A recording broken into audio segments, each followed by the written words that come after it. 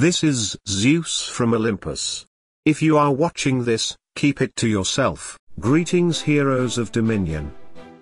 Zeus here with some exciting news, straight from the developers of Hero Wars. They've just released a message about significant improvements to the Area of Conquest event, and it's packed with updates that you won't want to miss. Let's read it together. Remember, the event will last for 7 days, so make every moment count. We are thrilled to announce that the Area of Conquest event has been significantly improved, thanks to your valuable feedback. We've considered your suggestions and fixed various issues to ensure the event is better and more enjoyable for everyone. Here's what's new. Event Map Interface Update, the superior coin collection timer is now conveniently displayed on your team's panel.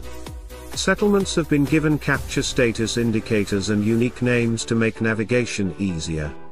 We've also added the ability to view your allies' teams along with red dot indicators for the journal and the road to the top season, so you won't miss a thing during the event. The safe zone near the castle has been moved inside the castle itself. By entering the castle on the map, you can now heal and change your team without the risk of being attacked. Additionally, you will also be able to check your guildmates' game status through the Tavern tab within the castle interface, without needing to be inside the castle. Guild ranking improvements, the guild ladder is now more informative and updates in real time in the ranking window as players come online. Moreover, the left-hand panel will display not only information about participating guilds but also their total power.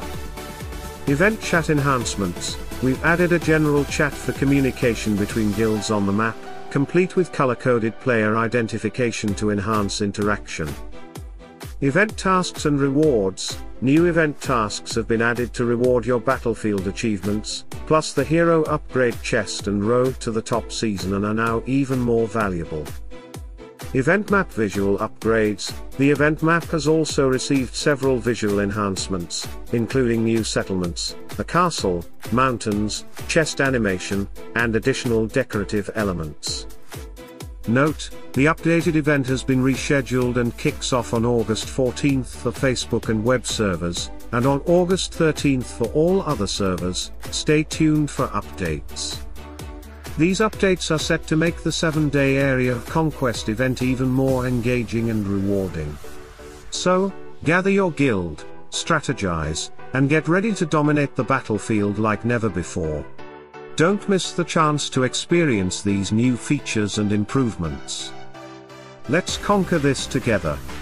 Ascend now, and may victory be yours. Salute and friendship. Zeus,